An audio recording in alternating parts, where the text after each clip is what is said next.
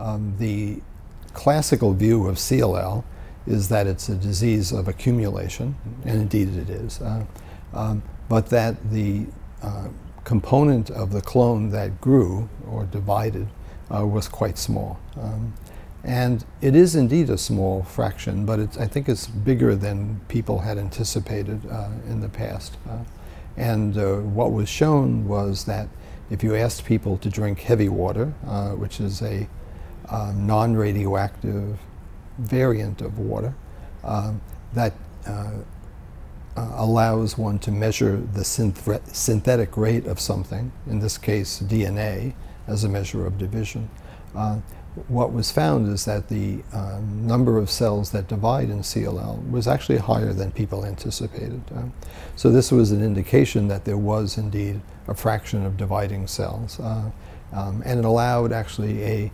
numerical calculation for the percent of the clone that actually divided in a given day. Um, it's a small number. It's around 0.1 to 2 or 3 or 4 percent of the total number.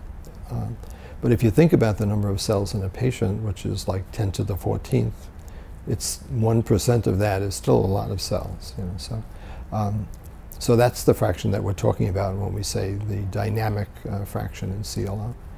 Um, it's a fraction that we think is important clinically uh, um, because it's the fraction of cells um, that have recently divided, have recently replicated their DNA, and members of the clone in that fraction, because they've divided and replicated the, their DNA, have had an opportunity, if you will, to make a mistake in that process.